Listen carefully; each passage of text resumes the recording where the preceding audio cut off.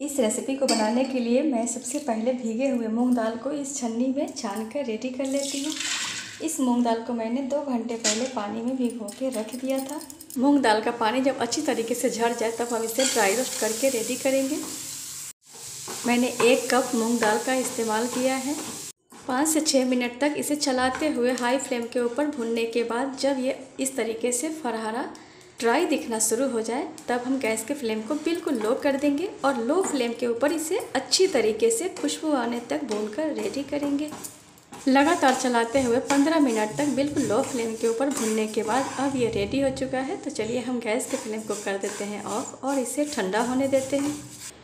अच्छी तरीके से ठंडा हो चुका है तो चलिए हम इसे पीस कर रेडी कर लेते हैं। इसे हल्का दरदरा पीस कर रेडी किया है तो चलिए हम इसे छान लेते हैं।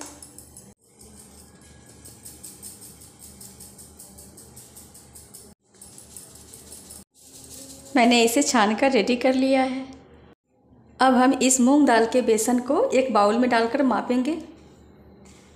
मैंने एक कप मूंग दाल लिया था, उससे एक कप बेसन भी बनकर तैयार हुआ है, आप देख सकते हैं। हल्का दरदरा बनकर तैयार हुआ है। बहुत ज़्यादा बारीक नहीं करना है बहुत ज़्यादा मोटा भी नहीं करना है। अब हम इस बेसन को एक बड़े से बाउल के अंदर डालेंगे। अब हम बेसन के अंदर डालेंगे हाफ़ कप घी।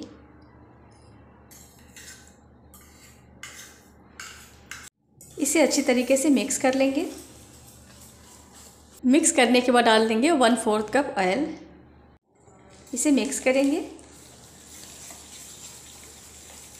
अब ये अच्छी तरीके से मिक्स होकर रेडी हो चुका है।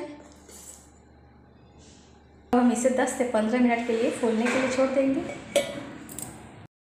इसे फूलते हुए 15 मिनट हो चुका है। चलिए अब हम चीनी का घोल बनाकर तैयार कर लेते हैं। इसके लिए मैंने एक कप चीनी लिया है। हाफ़ कप पानी डालेंगे। हाई फ्लेम के ऊपर चलाते हुए इसे मेल्ट करेंगे।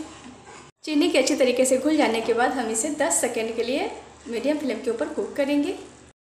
10 सेकेंड तक उबालने के बाद डाल देंगे घोला हुआ बेसन। मिक्स करने के बाद हम इसे लो टू मीडियम फ्लेम के ऊपर अच्छी तरीके से कुक करेंगे।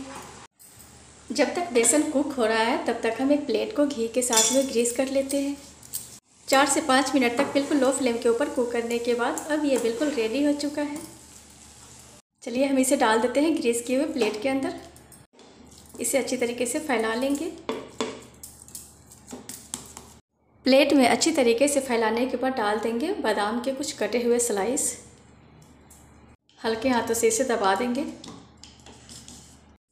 इसे फ्रिज के अंदर थोड़ी देर के लिए रख देंगे। दो घंटे तक फ्रिज के अंदर डालने के बाद जब ये बिल्कुल अच्छी तरीके से ठंडा हो जाए, तब हम इसे कट करके रेडी करेंगे।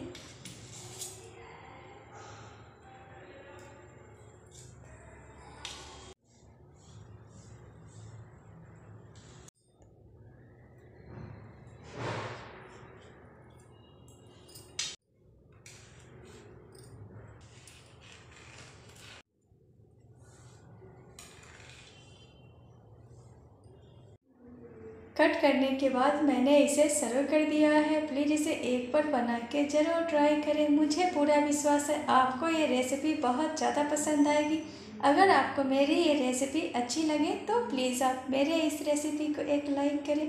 मेरे इस चैनल को सब्सक्राइब करें तथा बेल आइकन को भी प्रेस करें, ताकि मेरी हर आने वाली एक नई और हेल्दी रेसिपी आप तक पहुँच सके। Thank you for watching